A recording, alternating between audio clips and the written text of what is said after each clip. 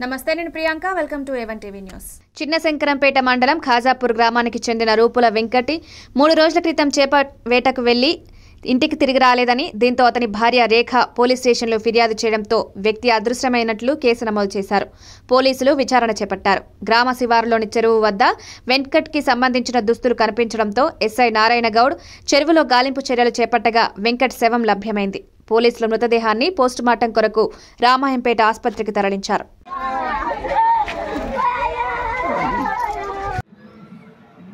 తేదీ పది.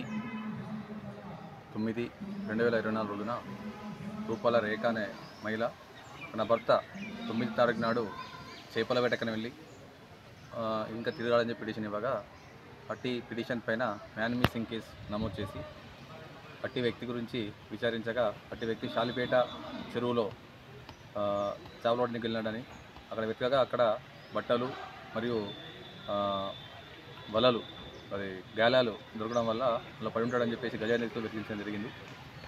కానీ లభించలేదు. ఈరోజు ఉదయం అట్టి చెరువులో తెప్పల సహాయంతో వెతకగా ఆ చెరువులో డెడ్ బాడీ తేలడం జరిగింది. ఇట్టి బాడీని రామాయంపేట ఆసుపత్రికి పోస్ట్ మార్టం నిమిత్తం తరలించడం జరిగింది.